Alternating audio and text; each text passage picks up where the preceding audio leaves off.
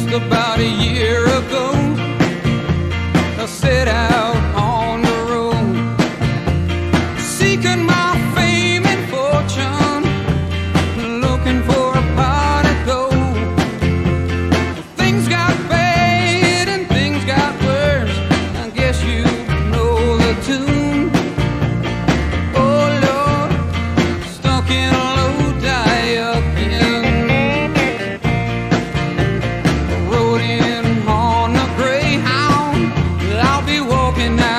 faz.